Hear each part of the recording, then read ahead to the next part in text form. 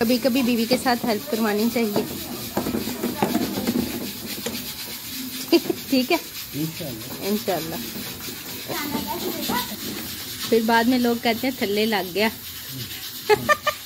काम करना चाहिए तो अच्छा मुंडा थल्ले लालता।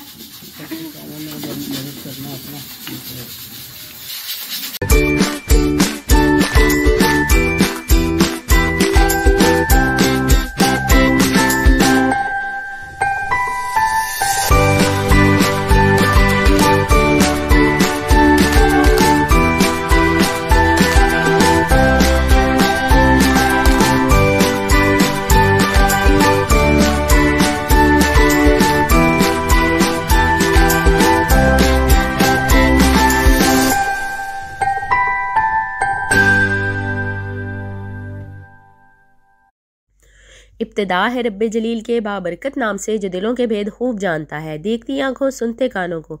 एमन का चैनल की तरफ़ से, अस्सलाम वालेकुम उम्मीद है कि आप सब खैरियत से होंगे। तो जनाब, आ गई सर्दी, छा गई सर्दी।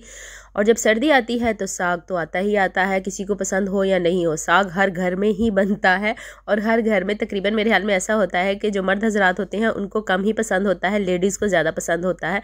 तो कुछ इस तरह से हमारे घर में भी हाँ। हमारे घर में भी लेडीज़ जो है वो बहुत शौक से साग खाती हैं और जो मर्द हजरात हैं वो ज़रा थोड़ा सा कम ही खाते हैं, इतने ज़्यादा शौक से नहीं खाते हैं। लेकिन इसके बावजूद भी हम बनाते हैं, हम कहते हैं, खाना है तो यही खाना है, नहीं खाना है तब भी यही ही खाना है। तो ये सीन होता है यहाँ पर। तो चले जी, आज हम बहुत ही मज़ेदार सा साग गोश्त बनाना बताएँगे हम आपको। साग जो है, ज़्यादातर तो सिंपल तरीके से ही बनता है। जैसे गाँव में बनता है, ऊपर देसी घी का तड़का लगाकर, वो भी मैंने आपके साथ शेयर किया हुआ है। तो अल्लाह जन्नत नसीब करे, मेरी जो सास थी, वो बनाती होती थी साग गोश्त।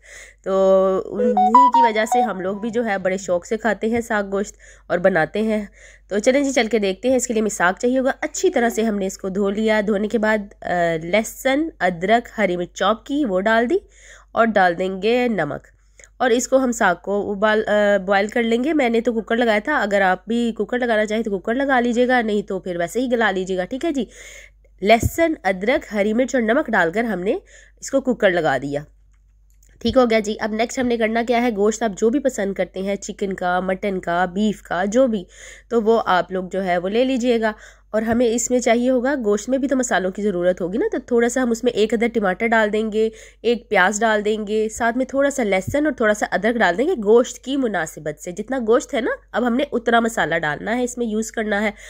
क्योंकि हमने वहाँ पर लहसन, अदरक वगैरह साग में डाल दिया हुआ है। तो चलें जी मसाले इसके लिए क्या चाहिए होंगे? हल्दी पिसा हुआ धनिया जाएगा, नमक जाएगा और हम कुकर लगा देंगे इसको या गोश्त को गला लेंगे जिस तरह से भी आप गलाएँ कुकर में या वैसे जैसे भी। और यहाँ पर हमारा जो साग है, ये भी गल चुका है। तो आपने एक तगड़ा सा बंदा पकड़ना है घर का, माशाल्लाह, जैसे हमारे घर का बंदा है, तगड़ा सा। अल्हम्दुलिल्लाह, अल्लाह से तंदुरुस्ती दे जी सबको। आमीन सुम आमीन। तो ये हमने इसके अंदर थोड़ा सा आटा डाल देंगे और आटा डालने के बाद इसको हम अच्छी तरह से घोटने की मदद से घोटेंगे, क्योंकि जब हम आटा डालते हैं और इसको घोटते हैं तो इसमें बहुत ज़्यादा मुलायमियत आ जाती है साग में। अच्छा ये मैंने आपको दो ऑप्शन दिए हैं। अगर आप लोग चाहें तो इस तरह से घुटा हुआ साग भी खा सकते हैं और जो है चॉप भी कर सकते हैं। और यहाँ पर मेरी हिबा मुसलसल शोर कर रही है, वो मुझे रिकॉर्डिंग नहीं करने दे रही। अच्छा जी तो इस तरह से हम लोगों ने ना या तो हम लोग मधानी की मदद से जो है इसको मैच कर लेंगे या फिर हम लोग चॉपर में कर लेंगे।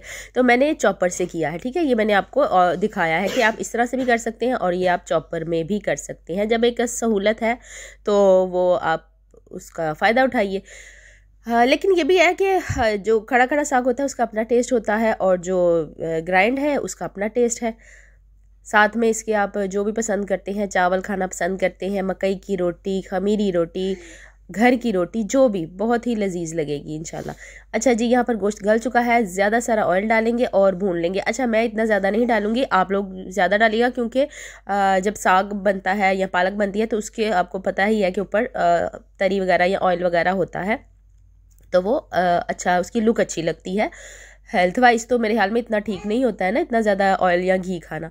तो हम लोग कम ही यूज़ करेंगे इसमें ऑयल और उसमें मैंने अपना ये बॉयल किया हुआ साग डाल दिया और करेंगे मिक्स इसको अच्छी तरह से हम भूनेंगे। अच्छा यहाँ पर आप नमक मिर्च देख लीजिएगा एडजस्ट कर लीजिएगा, जो भी आपको कम लगे तो आप इसमें बराबर कर लीजिएगा।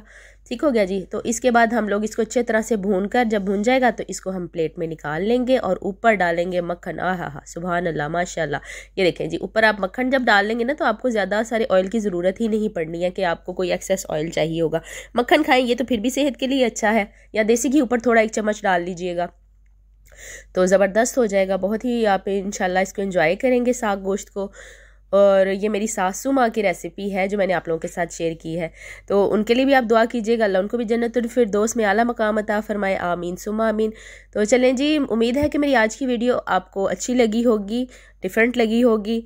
अब आप मुझे दीजिए इजाज़त, अपना बहुत सारा ख्याल रखिएगा दुआ में याद रखिएगा, और अगर वीडियो अच्छी लगे तो चैनल को सब्सक्राइब कीजिएगा, वीडियो को लाइक कीजिएगा शेयर कीजिएगा कमेंट कीजिएगा बेल आइकन प्रेस कीजिएगा। अल्लाह हाफिज़।